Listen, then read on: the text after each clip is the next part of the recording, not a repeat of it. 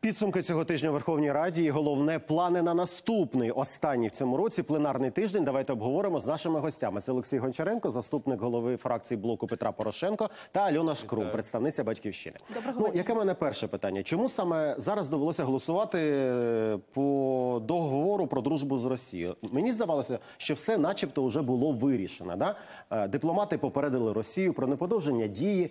Чи справді потрібно було включати в цей процес і Верховну Раду? Хто хоче почати?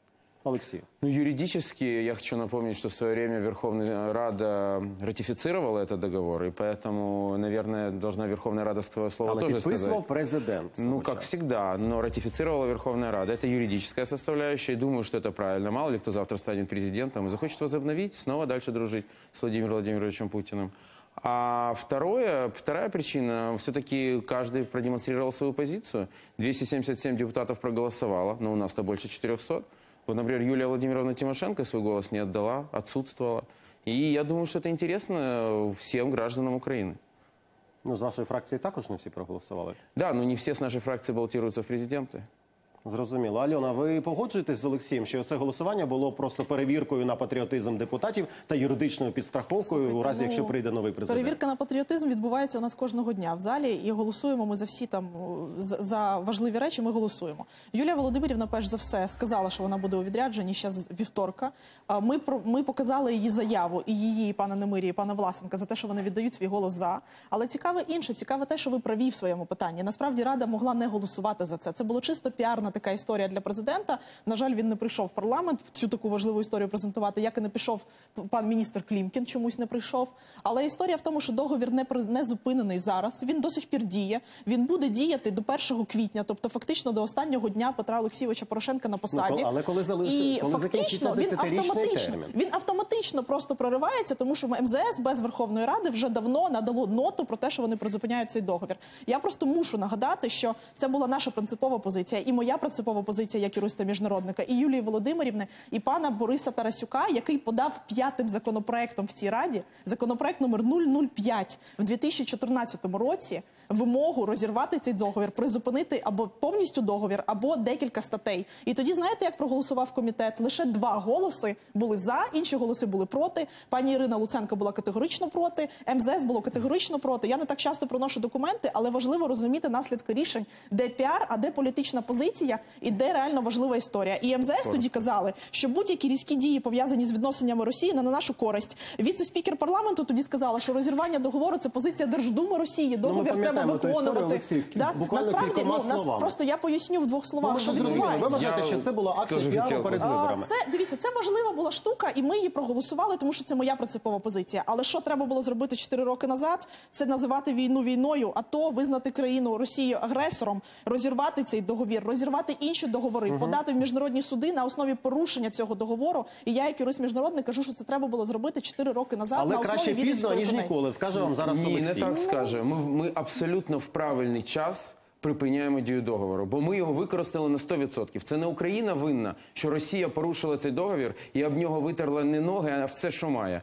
Це не ми винні, це вони винні. І ми це використали всюди на всіх рівнях. А що стосується відрядження, відрядження народного депутата може відправити тільки Верховна вам Рада. Верховна Олексій, Рада ну, не відправляла. Юлію Володимирівну Тимошенко відрядження. А коли ти плануєш свою роботу, то це сесійний тиждень. Я вважаю, що кожен депутат має бути в сесійний тиждень в Верховній Раді. У нас наступний тиждень не сесійний. І можна собі їхати в жодної Америку, фракції, в яку не можна буде, кудись. Я не не можна буде кинути каміння, бо цей голод, про який ви надзвичайно важливо. Це надзвичайно. Я можу зараз прізвище сказати добре, Надзвичайно річ. були на цьому про Якщо, історію. 10 секунд. Якщо лікар не прийде на роботу, а поїде собі кудись, що він хоче поспілку- поспілкуватися з колегами в Америці, то його виженуть з роботи. Чому так може робити народний депутат?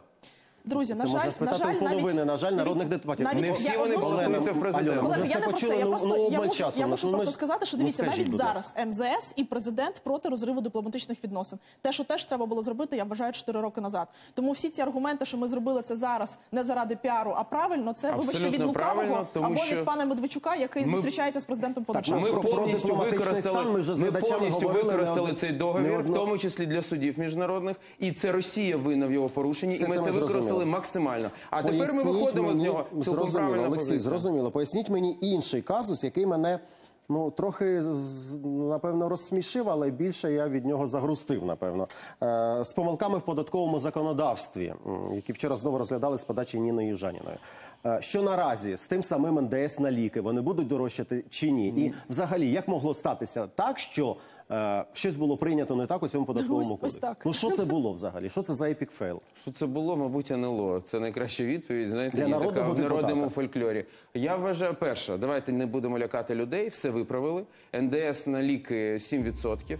Все вчора повернули так, як має бути, а правильніше сказати, продовжили. Бо мова йшла про те, що в наступному році цей пільговий режим по ПДВ по ліках він завершувався. Ми його продовжили до кінця 2020 року. Тому ця е, тема знята і все виправлено. Тому тут все гаразд, люди можуть за Альона, це чому виникають такі помилки з голосуванням? А, дивіться, не я і не фракція Батьківщина, а незалежний економічний центр економічного аналізу порахував нещодавно, що 70 мільярдів доларів недоотримує держава через неефективне корумповане державне управління. Ви це можете загуглити в інтернеті. Оце страшенна цифра. Да? Тобто за 3 мільярди в МЗС ми підвищуємо на 28% ціну на газ і відмовляються зараз розглядати мораторій на підвищення ціни. Ця Верховна Рада і коаліція. А 70 мільярдів ми втрачаємо. Вони забули, коли голосували о 5 ранку. Тоді податковий кодекс, за який категорично не голосувала. Я червоною кнопкою голосувала, батьківщина не голосувала, самопоміч не голосувала, радикали не голосували. Вони забули поставити 7% НДСу на ліки і підвищили ціну на 13% на всі ліки для всіх українців. Випадково, але не забули поставити 0% для урана, наприклад, для пана Кононенка, і не забули поставити податкові пільги, податкові там різні схеми для всіх наближеного оточення президента. Я це можу перераховувати дуже довго. після на такої жаль, нічого на не. Після такої нічки 7% це, були до було- 19-го року. Ми їх зараз дивно. продовжили, тому не треба вилякати Ні, ви їх людей. забули, Ну, а потім якби, виправляли. якби, Нічого не якби, змогло, ви тут Олексію не заспокоїли, все ж таки тут більш е, не було б так смішно, якби не було так сумно. Да? Дякую вам за ці відповіді. Олексій Гончаренко. Петра Порошенка, Альона Шкрум, Батьківщина Дякуємо. відповідала на мої питання.